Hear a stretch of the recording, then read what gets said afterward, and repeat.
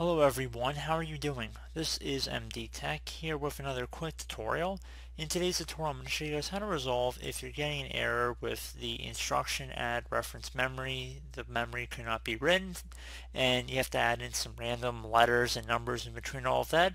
So hopefully in this tutorial I'll be able to address your problems without too much of a hassle here and we're going to go ahead and jump right into it. So we're going to start by opening up the start menu, just left click on the start button at one time type in CMD. Best match should come back with command prompt. You want to right click on that and then left click on run as administrator. If you receive a user account control prompt, you want to left click on yes.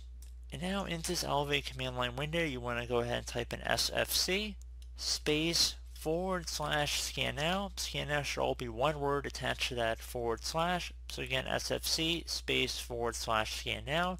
When hit enter on your keyboard, this will begin running the system scan and this will take some time to run.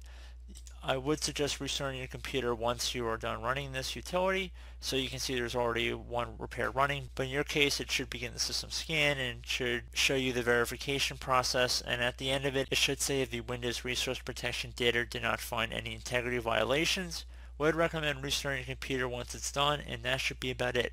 So I do hope this brief tutorial was able to help you guys out. And as always, thank you for watching, and I do look forward to catching you all in the next tutorial. Goodbye.